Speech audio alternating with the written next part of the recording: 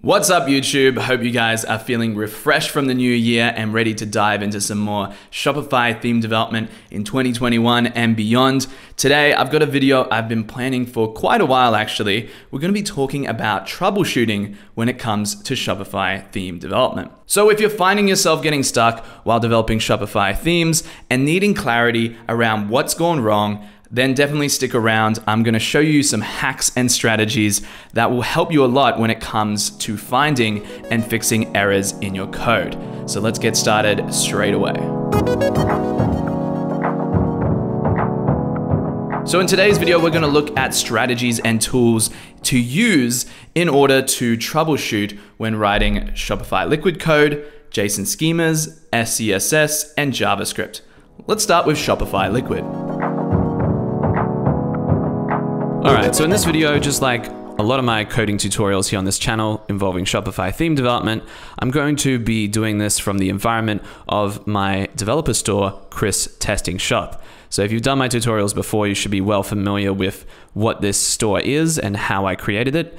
If not, you can create your own development stores by just going to partners.shopify.com and signing up. It'll allow you to create as many development stores as you want, and then you can use that as an environment for doing Shopify theme development.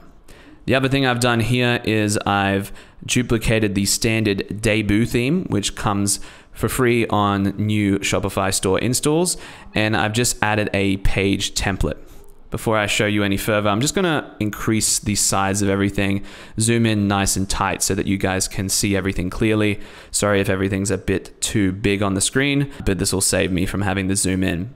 All right, so what I have done is I've gone into the code, I've created an alternate page template. So as you can see here, I've got page.testing.liquid. How I did that was I just went into here, select page, put in testing, hit create template.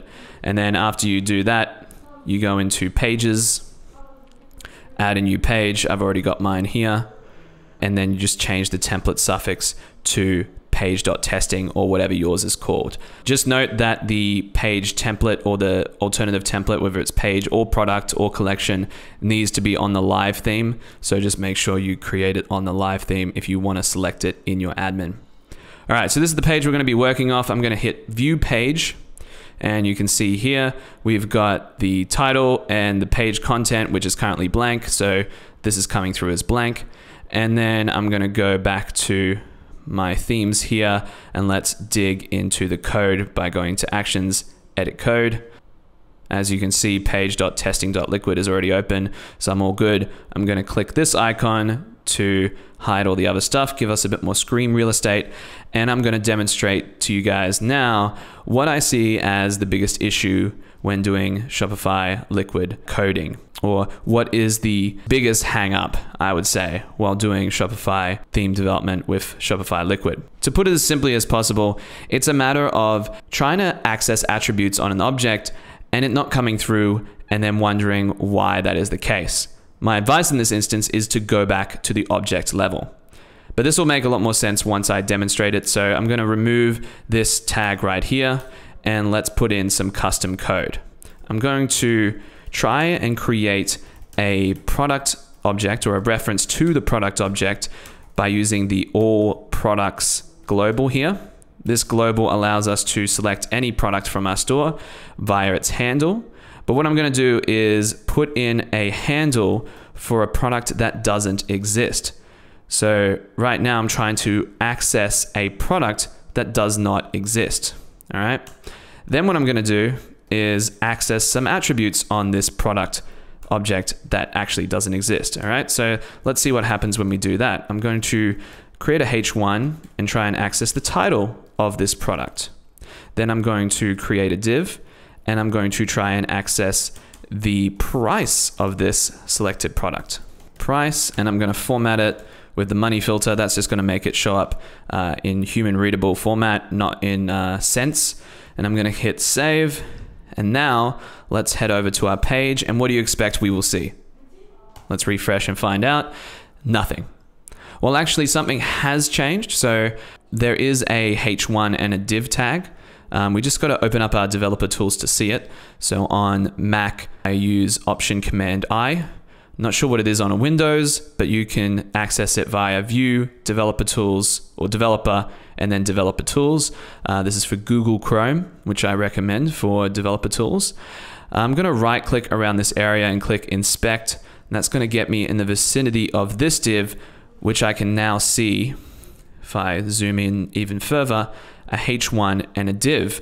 But of course, both of these elements are empty because these values are showing up as blank. Now, this is the issue with Shopify Liquid. When we created this reference to an object that doesn't exist and hit save, no error came up. And then when we get to actually working with it on the front end, it just shows up blank. So my recommendation here is when something like this happens, you go back to the object level and see what's happening with the object. Perhaps you have what's called an empty drop. So I'm going to demonstrate an empty drop right now. What we're going to do is output the object with no attribute. So just selected product by itself. All right. I'm going to hit save on that and let's have a look at what happens on our front end. Here you can see the words empty drop. Now, I don't know why Shopify Liquid used the word drop, but you can think of drop as object. So just read this as empty object. Now that we can see that this is an empty object, we can understand why the attributes are coming up blank because there are no attributes on an empty object. So if we go back here, we could do dot title, we could do dot price, we could make dot you know dot xyz123 and it wouldn't show up an error it would just show up blank and that is a bit of an issue with shopify liquid but that's why we need to go back to the object level and have a look at what the object actually is. If we're trying to access a product object, what we should see here instead is product drop. So I'm going to go over here now and I'm going to actually target a product that I know exists in my store. And to be clear to you guys, this is store data. So you actually need to have a product in your store with the handle of this for it to work. All right. So just briefly, if I click on this and go to my products, I'll just prove to you that that product exists in my store. Right here, awesome sneakers. If you ever want to see the handle of a product, you can just go to its page in the admin, scroll down, hit edit website SEO, and this part here, the editable part of your URL is your handle. So that's confirming that I do have a product in my store with that particular handle. Okay. So for those of you who get tripped up, you put in awesome dash sneakers dash one and nothing shows up. Remember, this has to be related to a product you have in your store. And it doesn't have to be a real product. This is all fake products. It's just for testing. So you need to seed your store with some data if you want to do these kinds of things, which isn't too hard, but that is an important step as well. Okay, so now we know we are targeting the handle of a product that does exist. What do you think will happen now? Let's go back to the front end, refresh, and see what happens. Now you can see the title and the price is showing up again, but above it, instead of empty drop, you've got product drop. So now we know when we output the product to our template verbatim, we have a product object. Now, if we were targeting a collection or a blog post or anything like that, it would show up with collection drop or page drop or whatever the object is followed by drop. Okay, and that will indicate to us what kind of object we have. But the important thing to note here is if we get this wrong and we target or try to access a product that doesn't exist, there won't be any errors.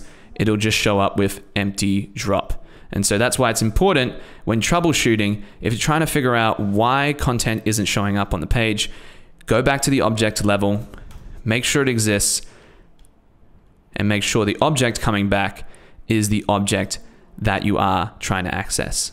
All right, so with that out of the way, let's talk about JSON schemas. So in this section, we're going to talk about how to debug JSON schemas.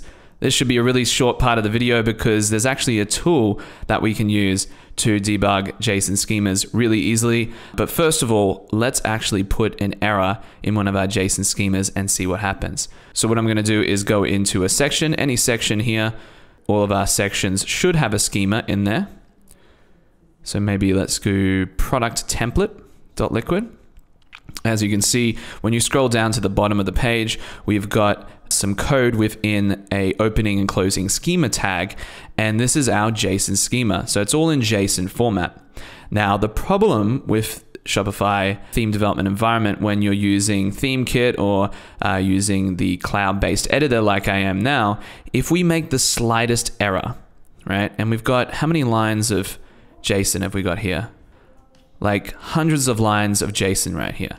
If you make the slightest bit of error anywhere here, it'll just come up with an error and you won't know where that error is. All right, so let's just do something really common, which is to delete a comma. All right, I'm gonna hit save and we'll get back an error. The error will be error invalid JSON in tag schema. So there is an error message, but it's not very descriptive, is it?